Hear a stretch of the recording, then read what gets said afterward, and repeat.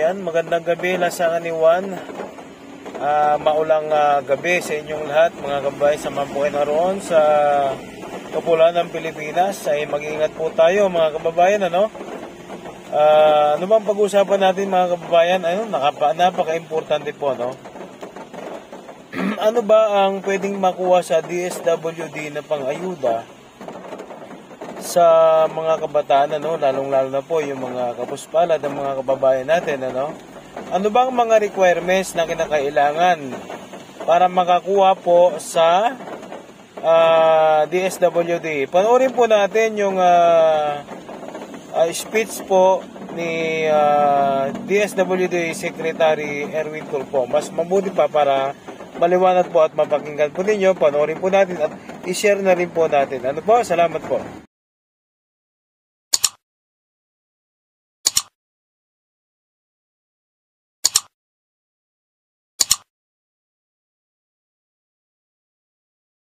Ito po yung programa na mag-uumpisa umpisa po namin.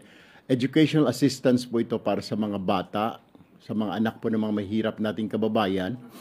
Simula po ngayong Sabado ah, at anim po na Sabado hanggang Setyembre 24.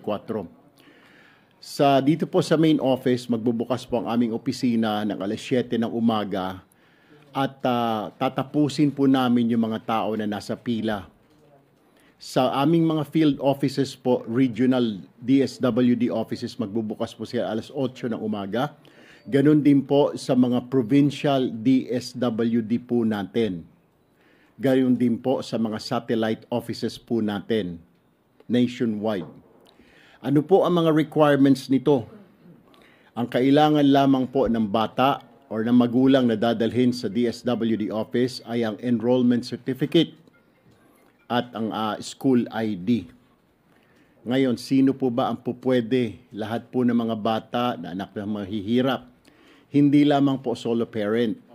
Halos lahat na ho kasi solo parent, ah, magulang ay PWD, ah, ah, magulang ay may mga sakit, mga ah, ulila na mga bata, mga batang anak ng tricycle driver, labandera, katulo, magtataho, jeepney driver, pwede po kayong pumunta.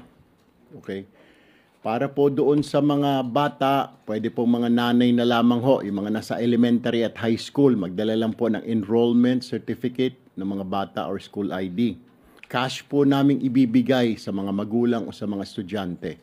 1,000 pesos po para sa elementary, 2,000 po para sa high school, 3,000 po para sa senior high school, 4,000 po para sa college or vocational course.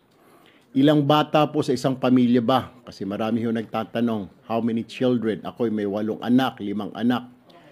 Tatlo pong bata per family. Ah, pwede pong ah, through appointment po sa internet, pwede po kayo mag-email sa amin, pwede rin pong walk-in ah, sa araw ding yun. Pero we advise na mas maganda siguro kayo po ay mag-email na lamang muna sa amin.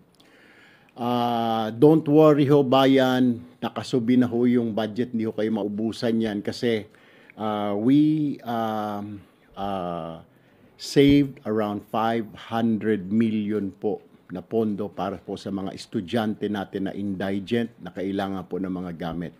500 million po yan all throughout the country. So, inatasan ko na po ang aming central office, ang mga regional offices namin, provincial offices, satellite offices na magbukas sa araw ng Sabado at every Saturday until September 24 para i-cater yung pangangailangan ng estudyante.